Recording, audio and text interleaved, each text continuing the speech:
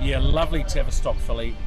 Fantastic pedigree out of a half sister to a Group 1 winner uh, and a bandana. Um, really nice, correct filly. Lo- lovely walker. Um, I think she's the kind of filly that we can look forward to for three old classic races.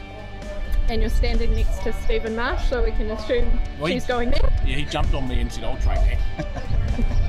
Yeah, I certainly did. No, she's a she was a nice filly. Um, as you say, she walks well, she moves well, and I like. She's got a fair bit of spunk about her too. You know, she shows off and and knows how to use herself a bit. And she's just you know uh, got a good bit of natural strength for a Tavistock. Uh, obviously more of a three-year-old classic type, but um, could just get up and do a little bit in the autumn. But uh, really nice filly, and yeah, we like her a lot, didn't we? Yeah, like amazing value, eh? Like, Well, she, she should have been a fair bit more. Uh, I thought 40,000 was well unders.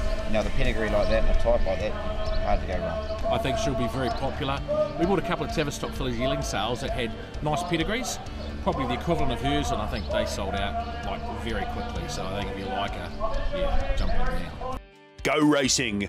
Shares available now in your next champion.